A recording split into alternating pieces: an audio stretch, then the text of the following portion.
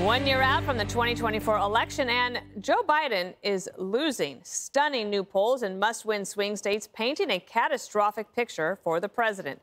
Donald Trump leading President Biden in five states, crucial to winning the White House. Biden only clings to a narrow advantage in Wisconsin. But that's not all the damage. Biden is bleeding critical support from all aspects of his coalition. Quote, Voters under 30 favor Mr. Biden by only a single percentage point. His lead among Hispanic voters is down to single digits. And while women still favored Mr. Biden, men preferred Mr. Trump by twice as large a margin. Team Biden is just brushing it all off, saying there's no cause for concern, and pointing out how Barack Obama was also losing at this point in his reelection campaign. But speaking of the former president, his top strategist, David Axelrod, is suggesting that Biden should drop out.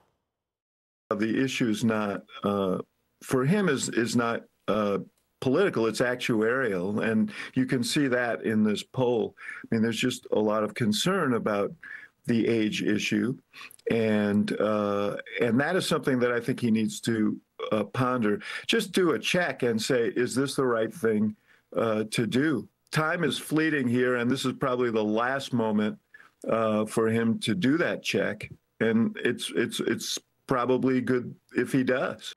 Axelrod is not alone. The media is also seriously worried about Biden's reelection prospects.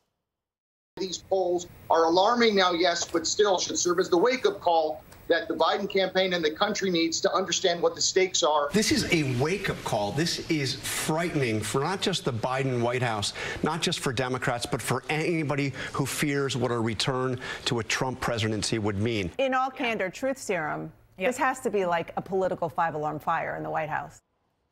Harold Ford Jr., it's great to have you back around the table. And um, about two months ago, the Washington Post had a poll that had Trump over Biden 10 points. And even if you remember, the Washington Post even put in the its own reporting that this is probably an outlier. Everyone should just not freak out. But it turns out several polls since have all shown the same thing, and now the New York Times saying that.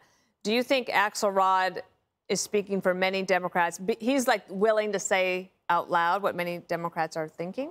So good to be back. I'd put it in two camps. First, there's a belief in the Democrat Party, uh, and, and, and the biggest thing that unites Democrats is that they don't want uh, Donald Trump as president again. So you now have polling, consistent polling, showing Joe Biden not being able to defeat him uh, in key states. The national polling is relevant, but when you get that kind of polling and you see five or six states, Arizona, you got to think the border has something to do with it there. The other states, the thing that I found most interesting is the, the 22% African American support the fact that Trump was leading in more diverse, the more diverse the state was, the more former President Trump was winning. The second thing that alarms me as a part of this is that the President uh, Biden has named his economic message and economic plan going forward Bidenomics. And there's one constant in American politics, presidential politics the economy is always the issue. Even if national security and other cultural issues are part of it, it all comes back to the economy, the border, can come back to the economy, it's national security, and obviously what we're dealing with in Israel and Ukraine.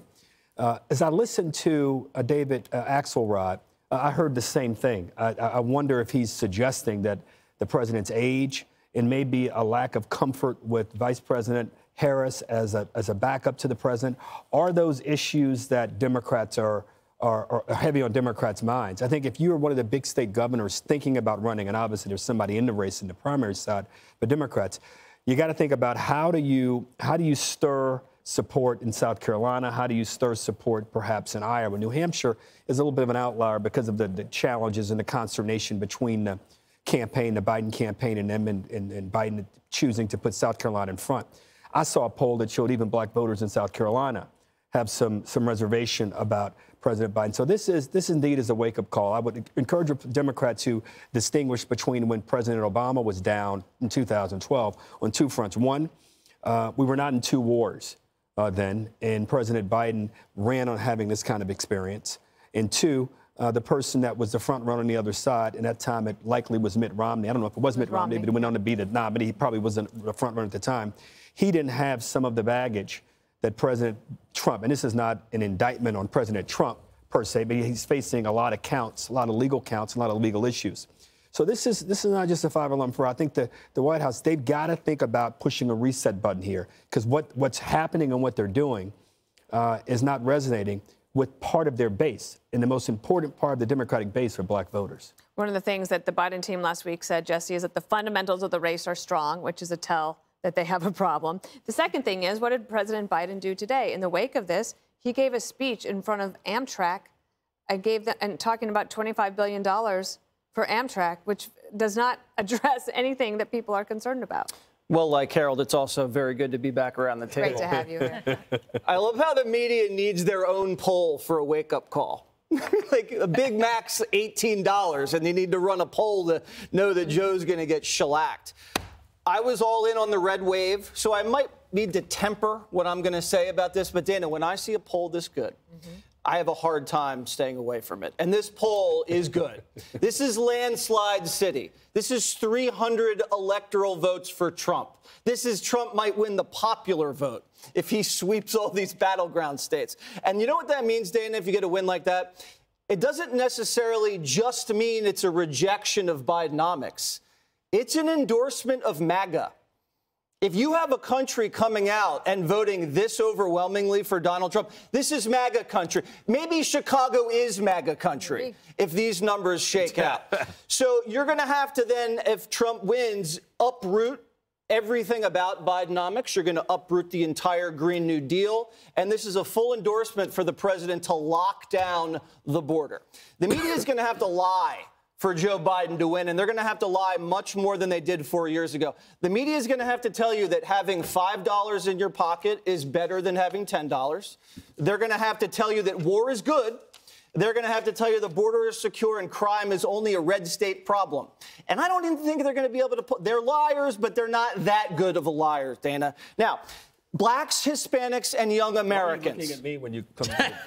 I'm looking at young Americans. looking at Kayleigh. so this is the Biden base that's collapsed. So three years of Joe Biden's policies, it's sunk in. Blacks, Hispanics, young Americans, it's over.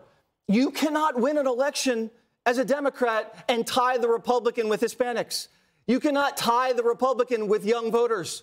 You cannot have a Republican candidate win more than 20% of the black vote. I mean, that just shatters your entire coalition. And now everybody sees what we saw from the very beginning. This was a corrupt, detached man who's a DC dinosaur that has no clue what he's doing. And now you can't even afford to buy a house. So Obama World is coming in to try to save the day. And it's not just Axelrod. Eric Holder said the other day you know, these judges really shouldn't be throwing Trump in prison on gag order violations. You're making this guy into a hero. Bezos, the second richest man in the world who runs the Washington Post, doesn't want to have anything to do with the second Biden term. The CIA is leaking that they don't want Joe back in the White House. There's a lot of powerful forces that are aligning to get this guy out of here. And now you're getting these push polls from ABC News, the New York Times. Not looking good. Kayleigh, this is also the poll was before what looks to be more internal strife within the Democratic Party about President Biden's strong support for Israel. Yes. And that will also chip away because you even had people on his campaign apparently wanting to write a letter to the commander in chief telling him to back off of his support of Israel. Yes, young people do not approve of his approach to Israel. Arab Americans, 70 17% approval rating for President Biden. So you're right. This is before all of right. that. Mm-hmm. If I am Joe Biden, I'm his campaign, and I'm looking at this poll, I dug through it today. Would Joe Biden be good for the country? When you add up the very good and somewhat good, guess what total you get? 8%. 8% think he would be good for the country. And then you look at President Trump, how would he handle issues vis a vis Joe Biden, who would be better off? 20% advantage on the economy, 9% advantage on national security, 9% advantage on Israel before you get to black voters. To your point, I never thought I'd read in the New York Times about Trump's support among black voters. Unseen in presidential politics for a Republican in modern times. That is the kind of support Trump's getting. Now, big caveat and star on this you have to operationalize these numbers. That means in Pennsylvania, you have to learn how to combat 40 days of early voting. In Nevada, where he has an 11 point advantage, you have to learn to combat some of the laws they've codified, where mass mail out voting is the law of the land. You have to bank votes in the way the Democrats do. Right now, it looks like this is how low can you go for Joe? Mm-hmm. But You've got to operationalize this, Republicans. Greg Gutfeld, save the best for last. Just want to say it's great to be back around Harold. Uh, you said in some cases Joe is down to single digits, and I think we know what single digit America is giving him. Uh, why, don't they, why don't they just tell him this is his second term? Do you think he'll know?